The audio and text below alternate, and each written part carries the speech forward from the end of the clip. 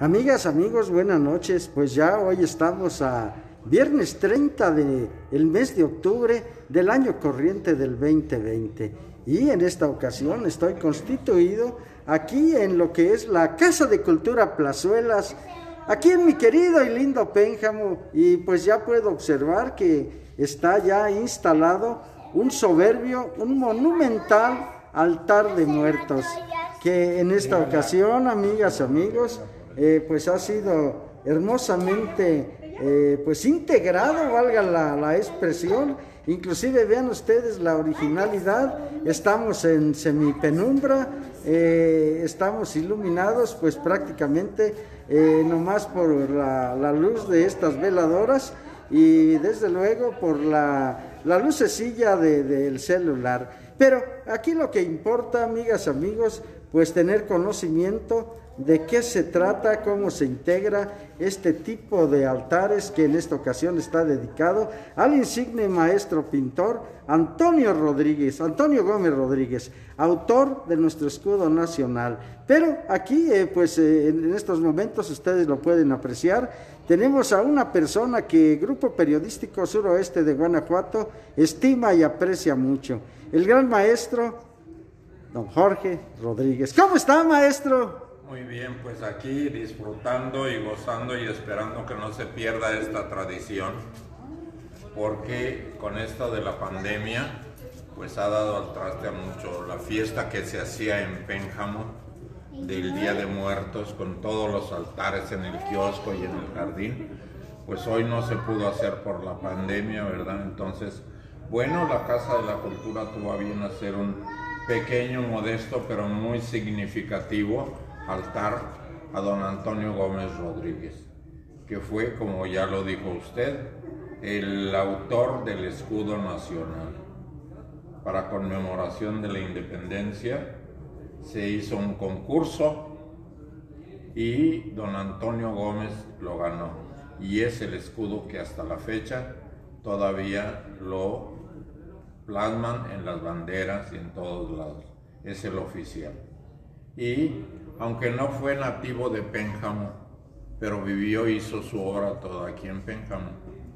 Don Antonio Gómez casado con una señora muy reconocida de la sociedad, de la alta sociedad de Pénjamo, doña Queta Reyes, una mujer muy de su tiempo y entonces don Antonio Gómez pues ya se fincó sus reales en Pénjamo y se le considera como penjamense honorable, de honor para Pénjamo tener un personaje como estos, como otros tantos que hay, que más adelante se les hará justicia, los traeremos también.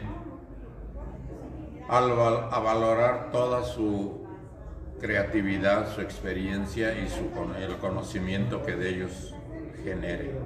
Así es. Y el altar pues está dedicado a don Antonio. Muy bien, maestro. Eh, ¿Algún significado en especial la integración de este altar, maestro? ¿Cómo se conforma?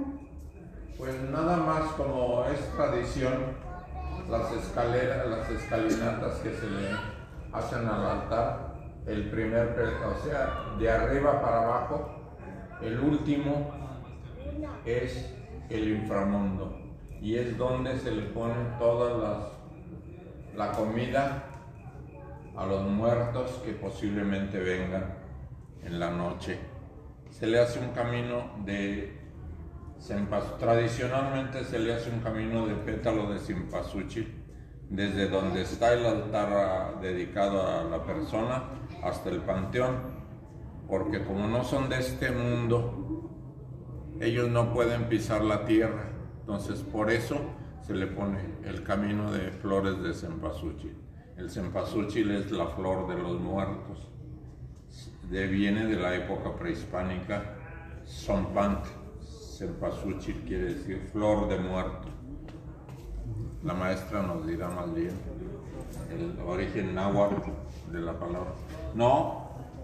¿Nos ayuda, maestra, por favor? Maestra, ¿nos ayuda? Sí, claro. A ver, por favor. Usted. De- de- de- déjenme guasearme al maestro, hombre. Sí, Yo lo estimo mucho. con él, no, pero, con él. pero miren, me lo estoy guaseando.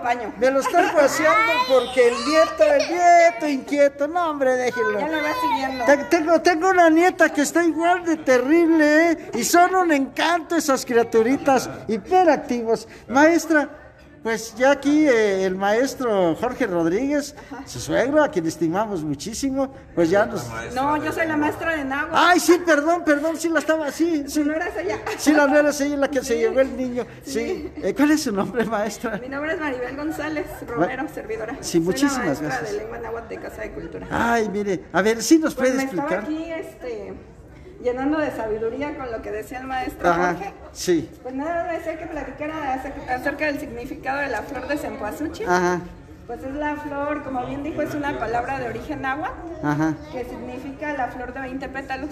ajá. Cempasúchil pues viene Xochitl de flor y Sempuali de la cuenta de 20.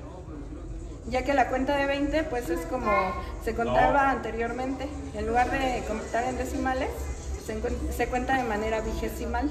Maestra, le pediría un favor Sí. para nuestro auditorio, Sí. eh, que nos eh, eh, eh, en náhuatl nos narrara un pedacito y luego nos lo tradujera a todo nuestra... Acerca de la tradición de Día de Muertos. Sí, por favor, Me gustaría, por ejemplo, hay un poema acerca de las mamás. por favor.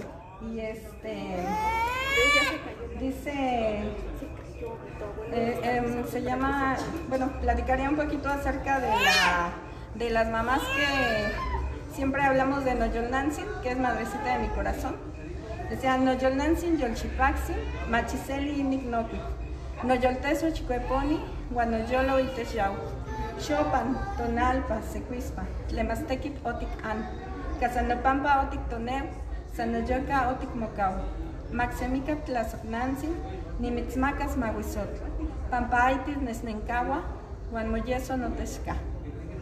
En español sería, Santa y linda madrecita de mí acepto este cantar, que cual flor se abre en mi pecho, en que va mi corazón. En lluvia, calor o frío, cuánto trabajo te di. Tan solo por mí sufriste, solo tú mi única bien. Que por siempre, amada madre, siempre pueda darte honor, pues tú nunca me abandonas y tu sangre corre en mí.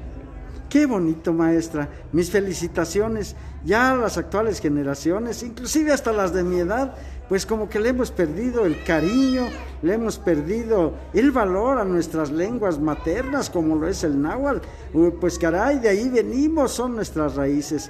Eh, y qué bueno, yo felicito también eh, al artista Leo Rodríguez por haber instaurado esta clase de náhuatl aquí en la Casa de Cultura eh, Plazuelas. Sí, pues lo tenemos realmente como taller fijo y Ajá. pues trabajamos en conjunto todos los talleres, como bien dice el maestro, pues es este parte de nuestro origen, lo que es ahorita este pues el montar nuestras ofrendas Sí. y decíamos que mientras nuestros difuntos estén en nuestra mente y en nuestro corazón, pues van a permanecer para siempre. Así es, sí, así es. Decía el maestro Juan Gabriel que en todo lo que hay vida existe muerte, pero pues yo refuto a Juan Gabriel porque se muere, se muere el cuerpo, pero el espíritu, el alma sigue vagando, amigas, amigos, como tal vez ahorita que enfoco, tal vez anden algunas almas por aquí vagando, los espíritus, los espíritus de aquellas gentes que nos quisieron, los ancestros de, por evento del maestro Jorge Rodríguez, los ancestros de la maestra, mis ancestros, tal vez, tal vez por aquí sus espíritus anden vagando. Hay que recordar que anduvieron, vivieron eh, en su tiempo, eh, pues todas estas construcciones antiguas de Pénjamo.